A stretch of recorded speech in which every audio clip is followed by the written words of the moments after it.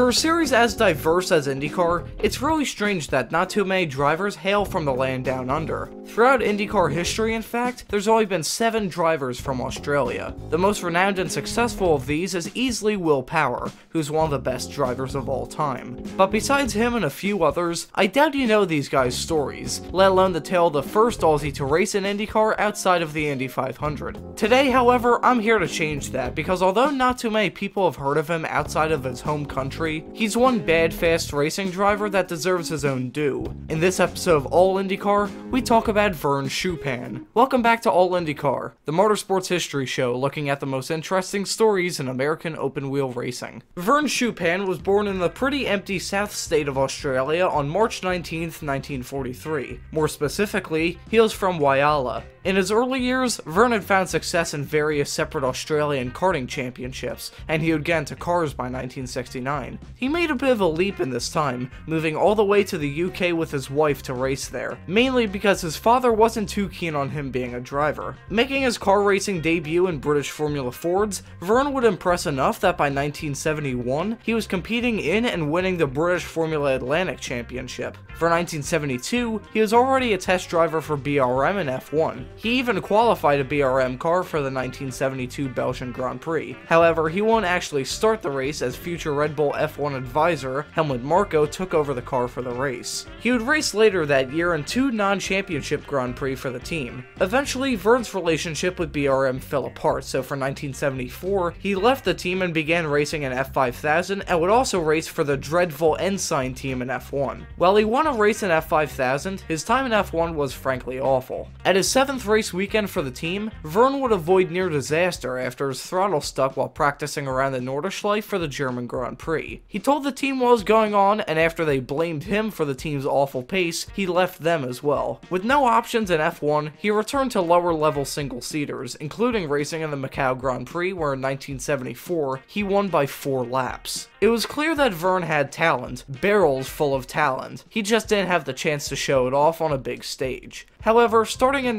1976, he would get on the right path to get there. That year would see Vern make his IndyCar debut at the 1976 Indy 500. Vern would be the highest qualified rookie, starting in the middle of the sixth row. He would also be the highest placed rookie when the race was called on lap 102 for rain, giving him the 1976 Indy 500 Rookie of the Year award. That would be his only start in the series for 76, but for 1977, he would return for various teams. The year was pretty up and down, with three top 10s getting overshadowed by four DNFs and a failed attempt at the 1977 Indy 500. Unfortunately, this tone would really be the one for his whole IndyCar career, as he either retired from the races or finished very well. His best result in IndyCar came in 1981, where he finished third at the Indy 500. Besides that, however, his IndyCar career wasn't too much to write home about. Exactly why I'm not dwelling on it. The main thing to come from his IndyCar stint, though, was the fact that he came third place at the Indy 500. Porsche would see his great drive there and signed Vern to race in their endurance program, where in 1983, he won the 24 Hours of Le Mans with co-drivers Hurley Haywood and Al Holbert. Although his IndyCar career wasn't memorable, it put him on the right track to find his greatest success in racing.